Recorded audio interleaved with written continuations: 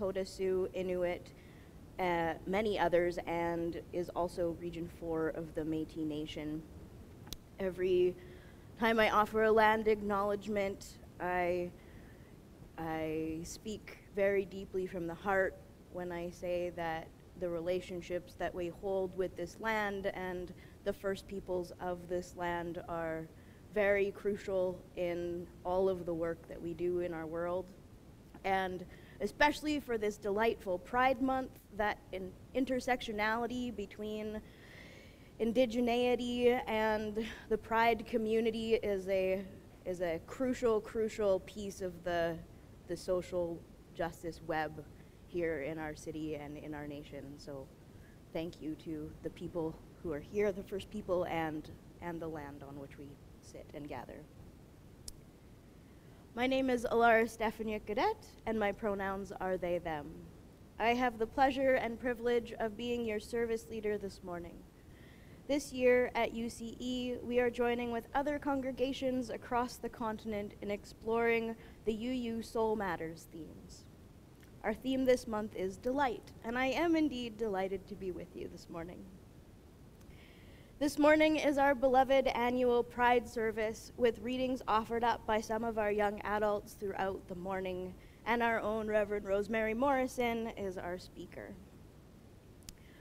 For us to be able to be fully present to our time together, I invite you to please turn off any devices that ring, buzz, beep, play 30 seconds of catchy music. Although I confess this morning I was tempted to make an exception if that catchy music happened to be your favorite Pride anthem, but maybe we can just save it till after the service. Our community extends beyond the Sunday morning gathering. We have a monthly newsletter available online, and you can join our virtual community on Facebook and Twitter to keep up to date on happenings in our extended community. You are welcome here whatever you believe or don't believe, whoever you love, however you understand family, whatever your age, ethnicity, or ability, you are welcome here. We extend a special welcome to our visitors and newcomers this morning. Please join us after the service for conversation and coffee, where you're welcome to ask us any questions you might have about our community.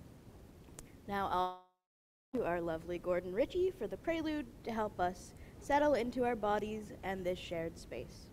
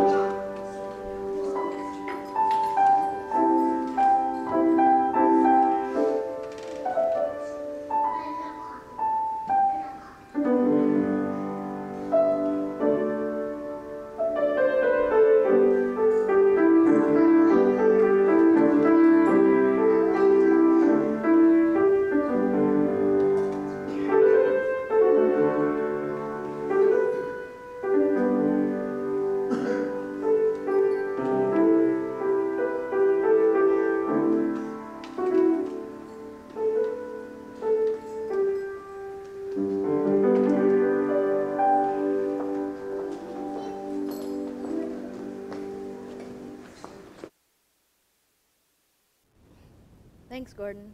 I'm going to invite Maria Jenkins up to light our chalice.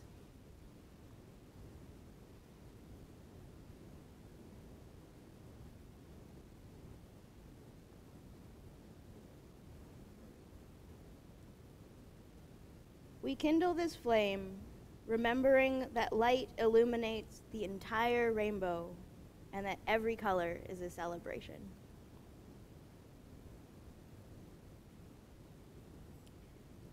Jones, you want to come up and give our first reading?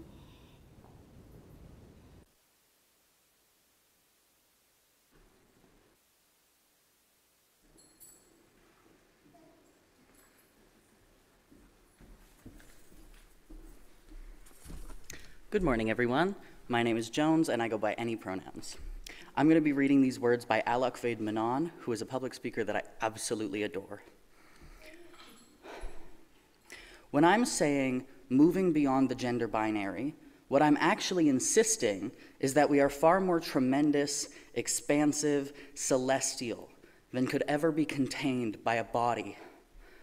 And that actually, some of the most powerful, awe inspiring, earth shattering ways to exist in the world will never be visible.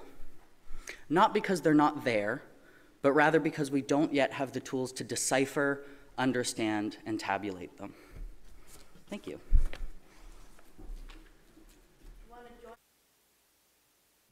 I think I'm just going to stop muting myself. If you want to join me in rising in body or in spirit, we're going to sing hymn number 360, Here We Have Gathered.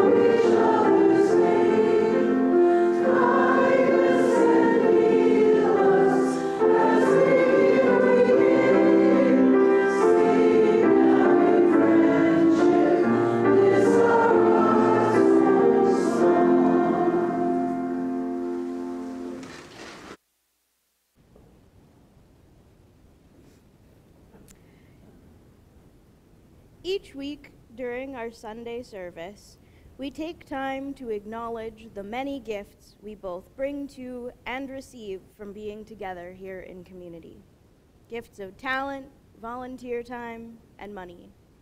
Today, we are blessed with the musical talent of Gordon Ritchie, as well as the gifts of volunteer time and service from those who plan, greet, coordinate our sound and video systems, and clean up after.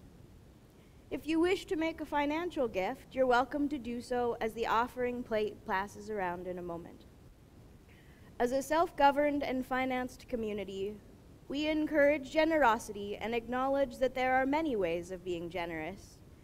If financial generosity is accessible to you, please know that half of our weekly donations go to local charities that change each month. For the month of June, we are supporting the George Spady Society, which describes themselves as recognized as a leader in the development and delivery of effective services for the care, treatment, and support of individuals with substance related disorders and dual diagnosis. People who come to us find dignity, hope, and healing as they set a new path towards health and well being. Please pass the offering plate.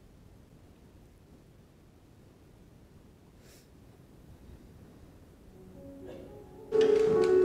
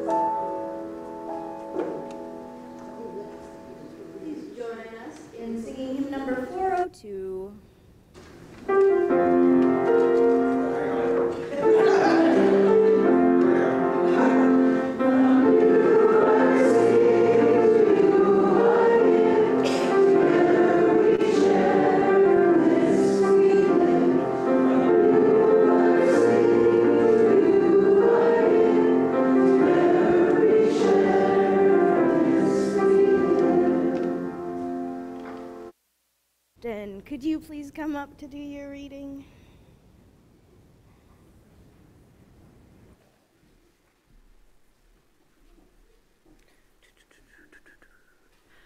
Hello, everyone. Sorry, I, I should have I should have pulled this up earlier, but you know.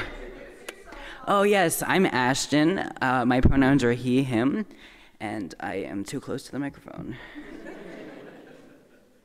Cool, found it. So I am reading something that I wrote called "It Gets Better, but It's Great Right Now," or "What I Needed to Hear When I Was Growing Into Myself."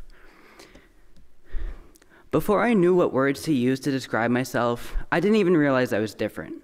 I figured everybody questioned their gender and identity. I didn't even really know transitioning was an option. And as I learned more, it felt like everything started to get worse and more complicated. But it gets better. When I first came out, nobody really believed me. It was a struggle to communicate the feelings that I was just coming to terms to with myself, and my, my family struggled to understand what I could barely even describe they, they expected me to be an expert while I was kind of just a baby, and the only peers I had lived in different cities or even different countries. But it got better.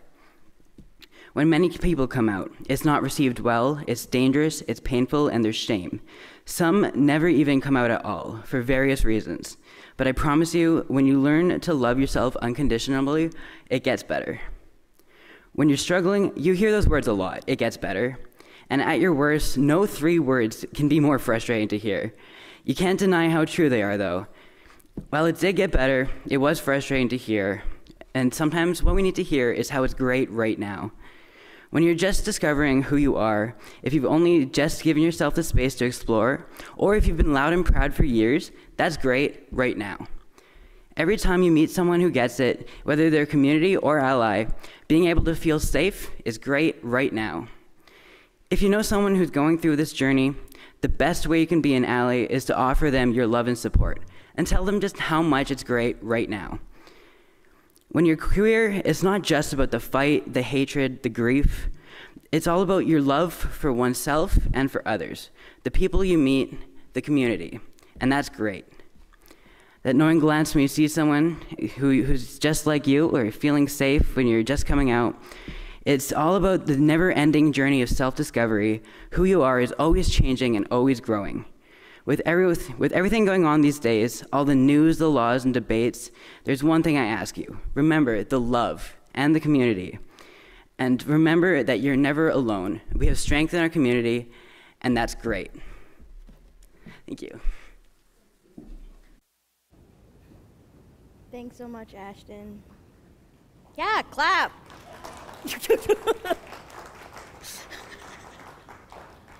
Don't be shy. We're going to move into our meditation hymn. Just take a few moments of silence after the hymn before I move into candles of joy and concern and celebration. But our meditation hymn is 1053 How Could Anyone? And I would invite you to remain seated for this one because then we can enter into a moment of silence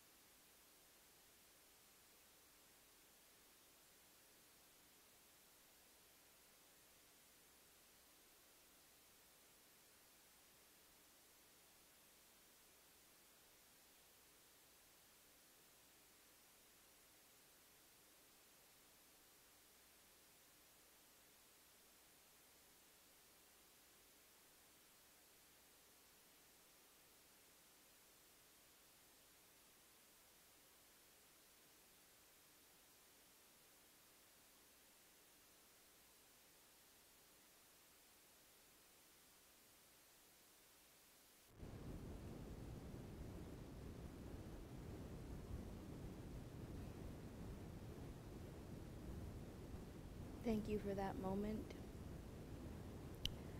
Our candles of joy and celebration are a cherished tradition in many Unitarian churches all across the world. This morning, for Pride, I would invite you, as you come up to light your candles, to hold in your heart somebody that you know and love that is a part of our rainbow community. Um, I invite you to come up and light your candles now.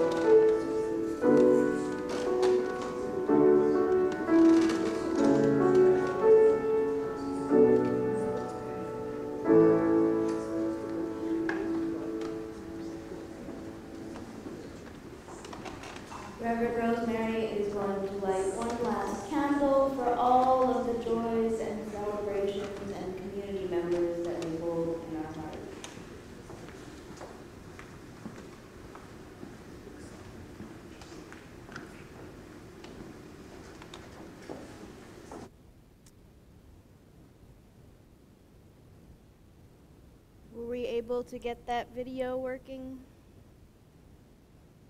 Tie in how one of the things that's good now is chosen family. For all of the people in community who have had experiences of rejection or ostracization, chosen family is one of the pieces that gets us through. Um, so that's why I picked that song. Gets us through the hardest times, and it's a good thing now. So, something I really wanted to speak to this morning, and I know Reverend Rosemary is also going to speak to this a little bit, but from a different perspective, is the idea that pride is still political.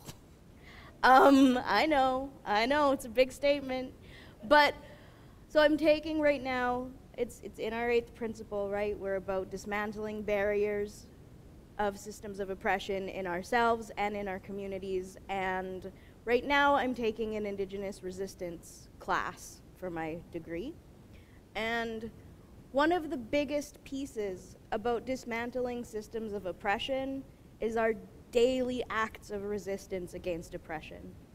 And that's political, whether we like it or not. Our daily acts against oppression are political acts. And for me, one of the things that really struck me in the last few weeks as I've been working on a paper for this course is how every time I correctly gender people, so I use people's correct pronouns, including my own, and every time I correct somebody on mine, I'm resisting oppressive systems.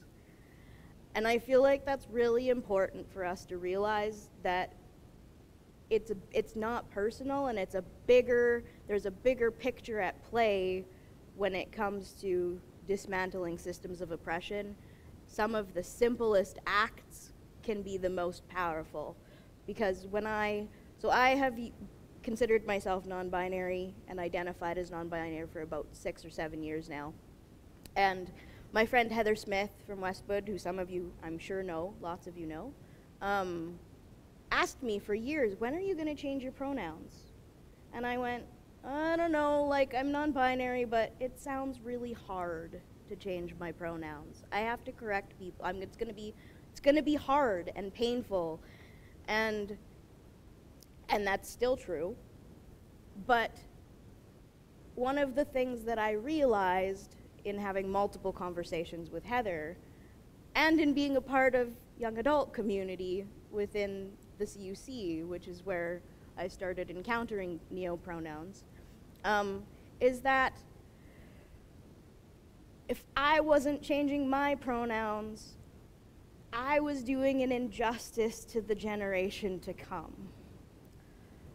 So, in changing my pronouns to they, them, and in correcting people, it's it's an act against oppressive systems, but what it's doing is creating a world that's safe for our young people to grow up in. And I really, I just really wanted to lift that up because I think it's really easy to get entangled in, in identity politics, right? But it's about creating a safe world. And that's like, I felt dishonest not changing my pronouns, and I felt like if I hadn't, I would be a part of that oppressive system because I'm just like it's because it keeps me safe not to have to correct people all the time. Um, and that's not fair because that doesn't create a better world for our young people. So that was my reflection for this month and just uplifting the idea that every time we get it right, we're making a better world for everybody. Thank you. And now we're going to sing number 131 Love Will Guide Us, because that's what it's all about, folks.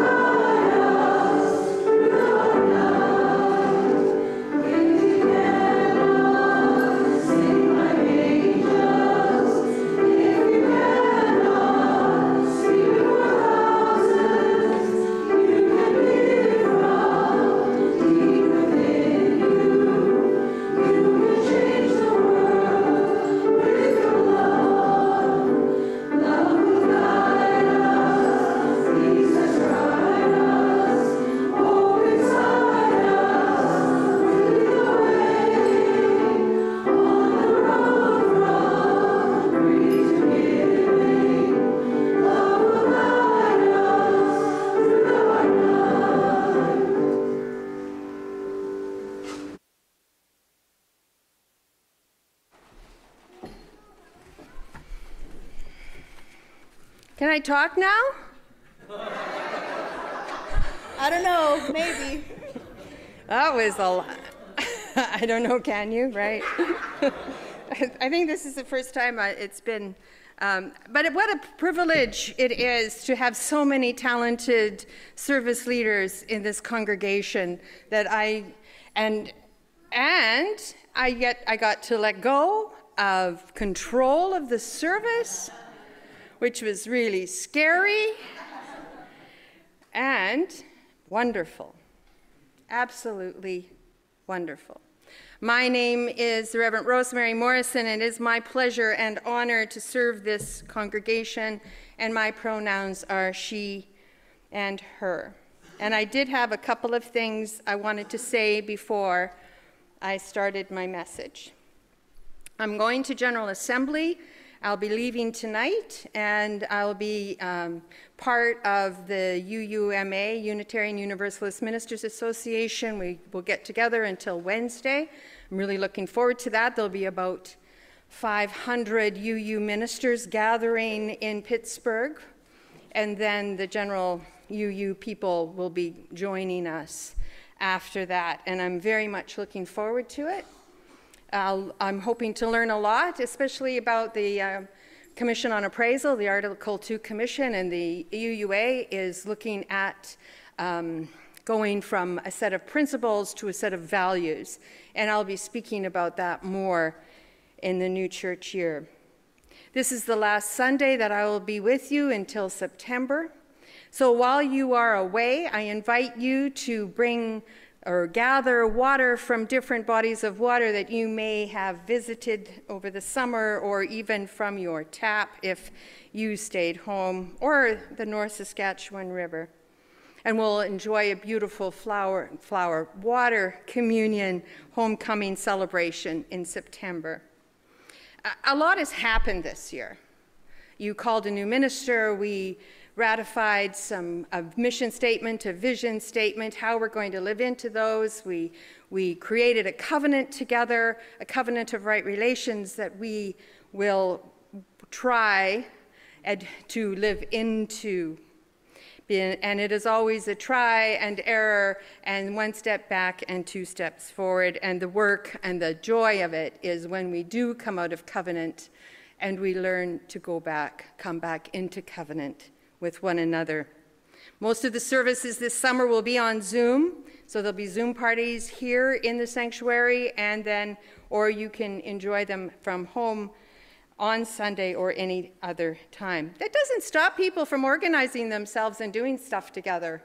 You can, you can do that. Including yeah. the Friday movie nights over the summer. Including Friday movie night. Is that happening? Yeah. Yes. So that'll be in the newsletter. Watch for it. Friday evening movie nights here, movie and discussion on the big screen. Okay, I think that was all. I didn't get to. I didn't get to. We forgot the announcements. That's, those were my announcements.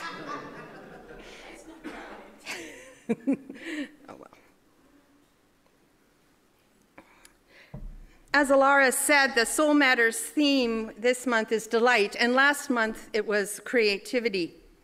And I see creativity and delight being closely and magically intertwined. We are creative beings, delightfully so.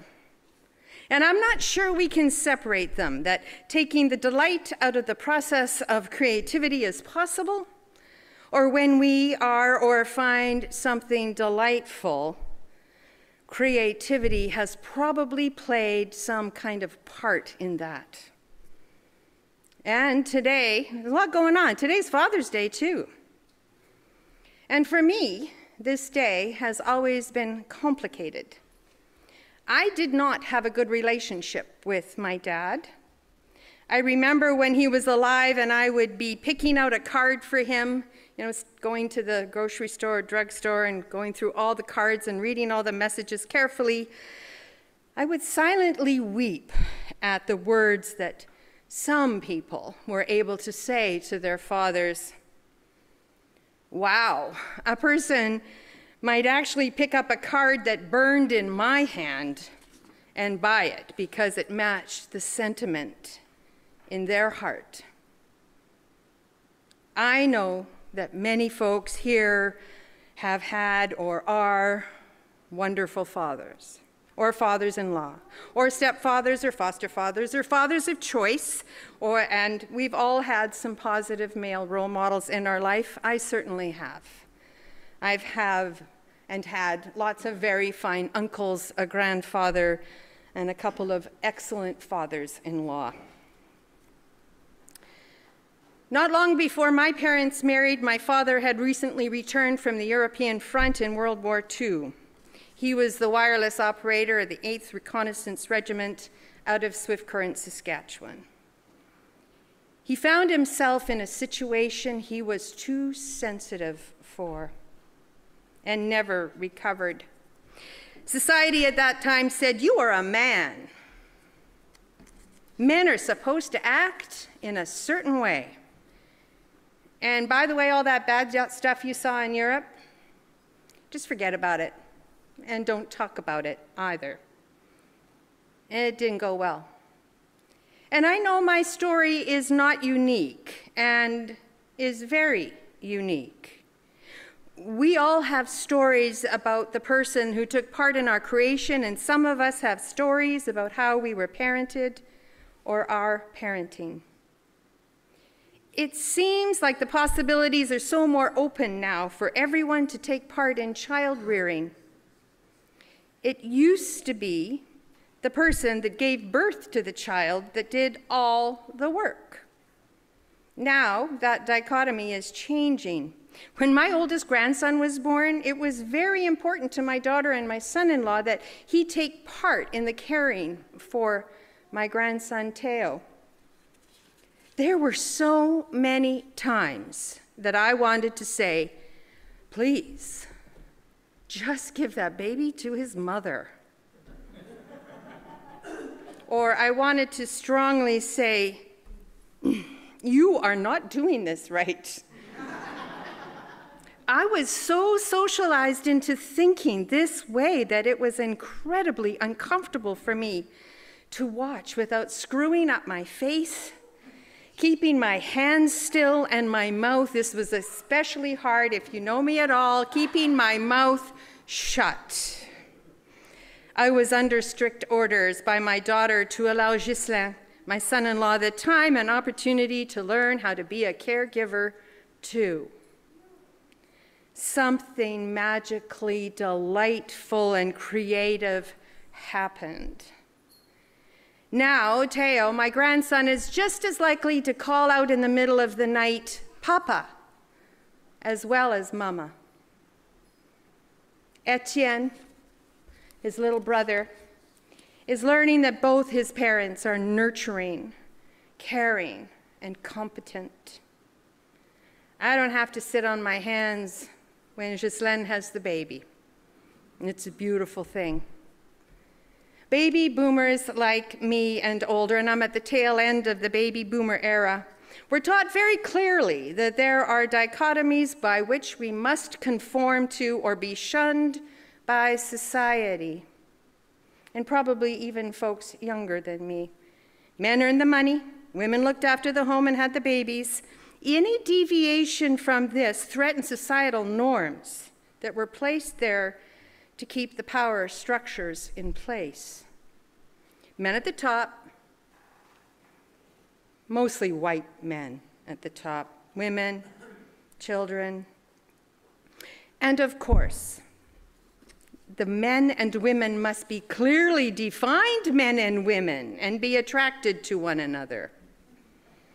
Women must especially conform to their gender norm and make sure they were as pleasing as possible to the male gaze.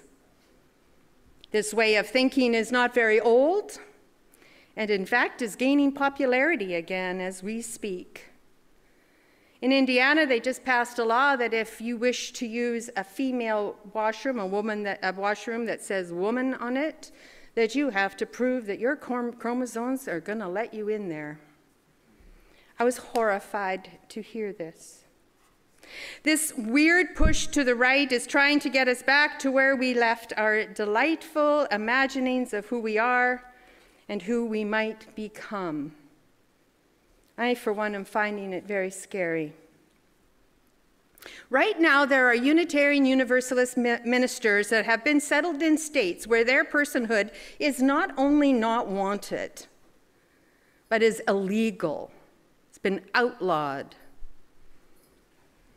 Ministers that I hold dear. As those on the margins push and dance their way into the center of society, saying, We are valid.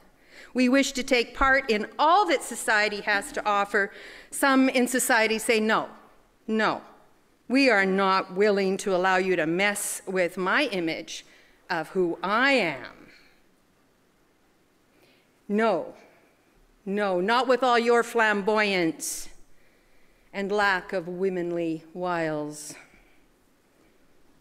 When I was doing my social work degree many moons ago, one catchphrase was the personal is political, meaning if someone had a personal problem like inadequate access to resources, intimate partner violence, addiction, mental health concerns, we needed to kind of look up the ladder. What are the policies in place that keep the resources so unevenly distributed? Where are the wraparound and low barrier mental health and addictions dual diagnosis services that help people manage themselves in a healthy way? The personal is political. If you somewhat see someone with a personal problem, there is a political policy in place. In seminary, it changed to yes, the personal is political, but it is also pastoral. There's one more step to that, or from your side. we need to find there, yes, we need to house and respect the body. Yes, we need to have available mental health services. And also, yes, we need to attend to the more ethereal and invisible aspects of human beings. We are spiritual beings, not just mind and body. In other words, we are more than the sum total of our parts. We all have an essence, a spirit, if you will. Use whichever word you are comfortable with. It is our essence, our spirit, that is being crushed when society tells us we need to be a certain way adhere to norms and mores that don't fit for us, or tell us that we are an abomination if we are a particular way. Have I talked to you very much about my friend Lisa?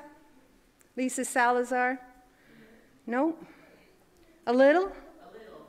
A little. So forgive me if I repeat myself. So she's written a couple of books about her experience growing up She grew up in a strict Colombian household. And she was about probably 10 years old when, uh, pardon me, Lisa is probably about 10 years older than I am and began transitioning later in life. And she has given me permission to talk, say her story, and she's published her story. So, um, but her and I have talked about the fact that most Pride Sundays or Trans Day of Remembrance or Out Day, I speak I talk about her. She remembers as a young child in Colombia knowing she was different. She so wished she could be like her brother, who was so sure of himself. But she wasn't, and she kept everything to herself. In her 50s, she came out to a friend, and that friend supported her and loved her into being. She speaks of her fear based on safety and rejection.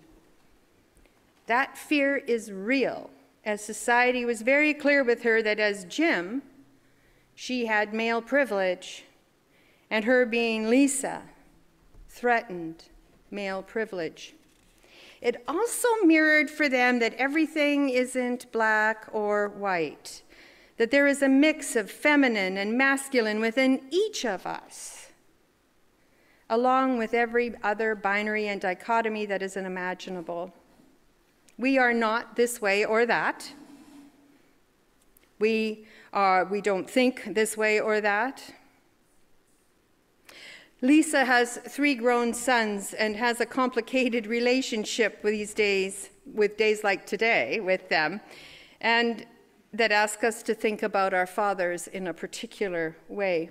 Her sons introduce her to their friends as, This is my dad, Lisa. Days like today are important, though, because they ask us to think about our relationships with our families. It also asks us to think about how we want to be thought of by our friends and our family. And I think, even more importantly, these markers on the calendar ask us to think about who we are and how we want to be in the world. We are restricted only by our own imaginings by the limits we arbitrarily place upon our beings, by the limits we allow society to place upon us and upon those that we love. Today is Pride Sunday, and it is important to remember that pride began as a willful, law breaking act that began to change, that began the change of our collective understandings.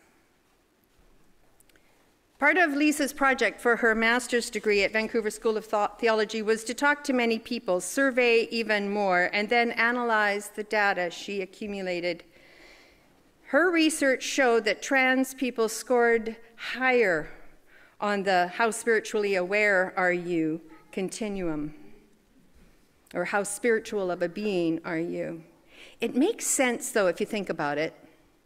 Not everyone who does deep spiritual work will find out that they are trans or non binary.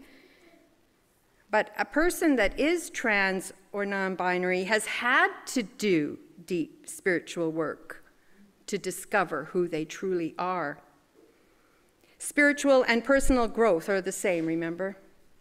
Finding out who we are, what makes us tick, why we feel a particular way, why we respond or react in a particular way, how we view ourselves.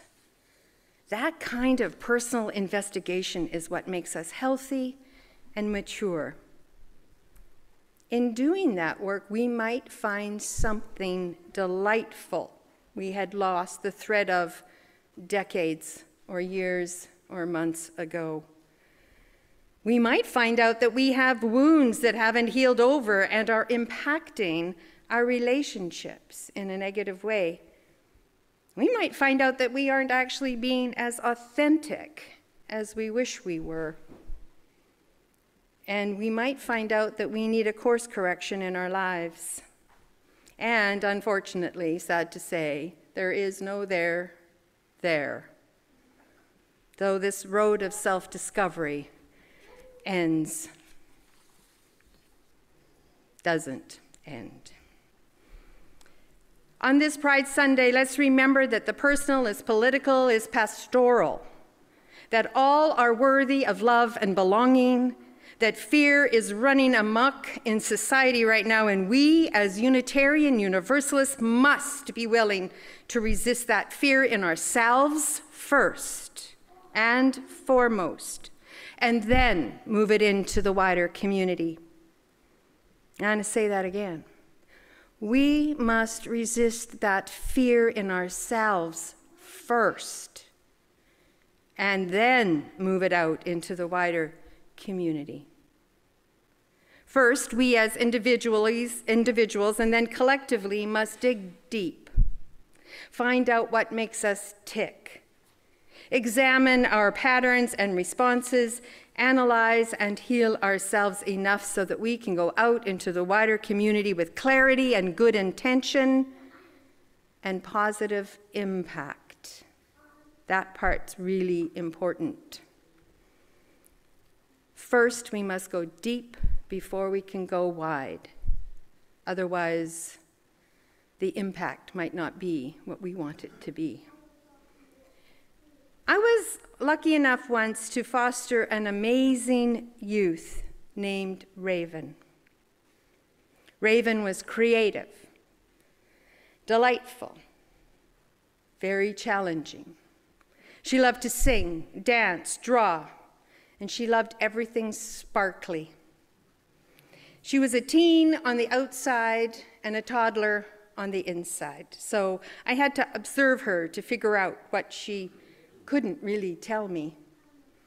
She came to me from a home that was that everybody in that home dressed in blue jeans and overalls and t-shirts and sneakers. And so that's what she brought with her. I took her to a store and uh, quickly discovered that jeans and t shirts were not what she would like to wear. And she started looking and oohing and awing over anything pretty and pink and sparkly, and her wardrobe slowly changed, and she moved into being who she was. It was really lovely to see her transform as she got to wear the clothes that reflected who she was inside. We all need that chance to figure out who we are. And sometimes we need help in figuring it out, like Raven did. Not everyone is trans or non binary or gay or all of the things. That's not what I'm saying.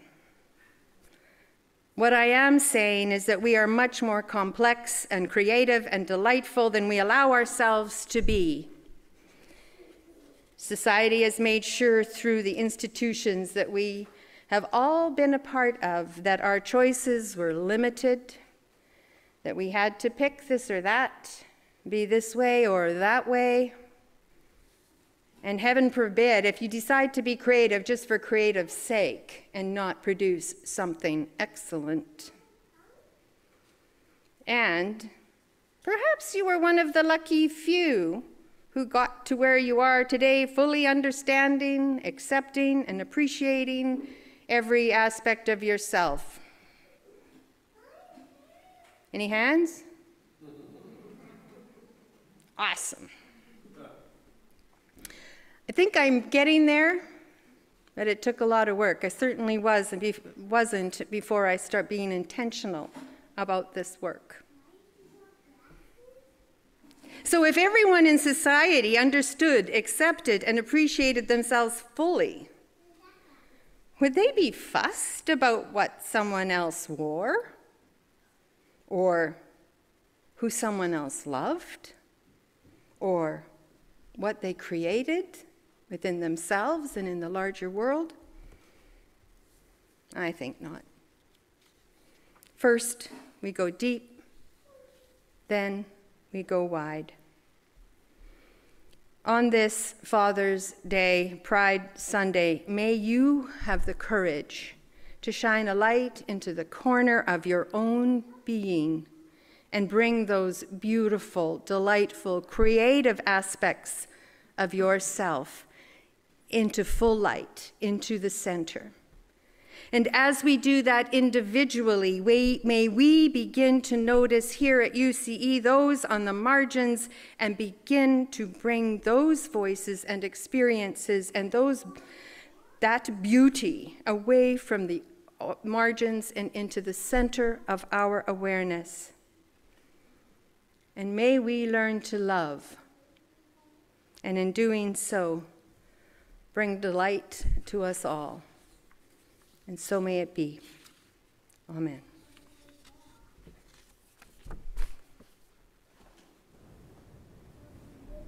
Thank you, Rosemary, Reverend Rosemary. We're going to sing, get our energy up. Let's get some light. Let's get some lights up in here. Gordon said, let there be light. Uh, we're going to sing hymn number 1028, Fire of Commitment. Yeah, yeah, going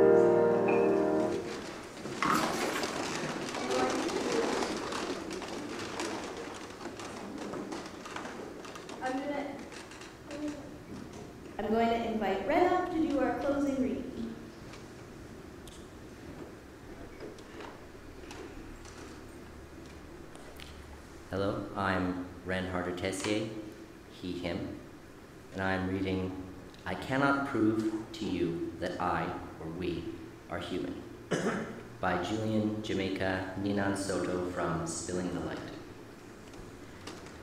I cannot prove to you that I'm a person, but you can hold my hand, cool and dry, while we pray or just breathe, ragged breaths catching on our aching ribs. I cannot prove to you that brown skin is holy, that black skin is sacred, but you can know it, luminous and irrepressible, the tabernacle of your own liberation. I cannot even prove to you that every queer body, every trans and NB body, every ace and bisexual body sings back to the universe its immense generative power of yes. I cannot prove to you with quadratic certainty that what a disabled body holds is a story of wisdom beyond perfection, like a red sun emerging from beyond a cloud of dust. So the answers that I have for a country hacking up a death rattle and a democracy with a wheezing, waxy pallor are about courage to love. Our desperation, not only for survival, but also to tread above the worst of our collective nature and to get each other free, unashamed that there came a day when we were willing to risk looking foolish to simply stay together and alive. Thank you. Thank you, Ren. Now I'm going to invite Reverend Rosemary up for a special acknowledgement. Oksana? Oh. So a thing happened. Yesterday, I walked over to the, the flower shop near my home and I bought Oksana this absolutely gorgeous uh, bouquet of flowers. And I put it on my deck because it was nice and cool out there. And it's still there. I'm so sorry. I can't believe I did that. It's like, don't forget the flowers, don't forget the flowers. I forgot the flowers, but I'm going to get them to you this afternoon. But you folks don't get to see how what a gorgeous bouquet of flowers I bought for Oksana, which is a mere token of the, the beauty and the love and the creativity and the wonder that you brought to this congregation in your year and a half with us. I'm so grateful to you. It's been a privilege working with you, and I'm going to miss you.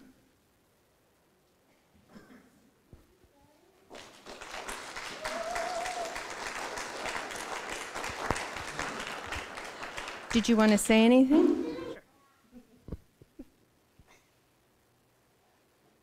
Well, this morning, uh, Ilara spoke so, so well about different ways of moving forward. And then Reverend Rosemary reflected that by saying sometimes we need to move back in order to move forwards.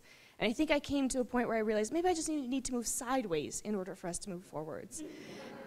and so I think just stepping out of the position gives our church an opportunity to reflect on the position and the direction that we're headed in. And I hope that um, as much as I've gleaned from so many different connections, large and small, in the church, I hope I've been able to provide a, a little bit uh, to the foundation that already exists so that we have a smooth way forward for spiritual exploration. Thank you, everybody.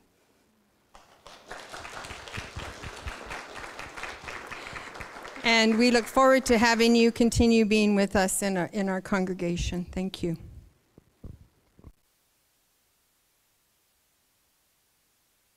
Unmuted. There we go.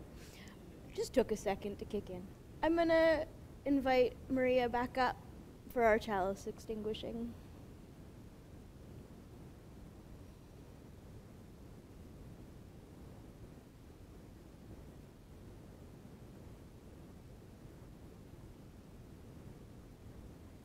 We extinguish this flame, but keep the fire burning in our hearts that moves us ever closer to love and justice and liberation for every color of the rainbow.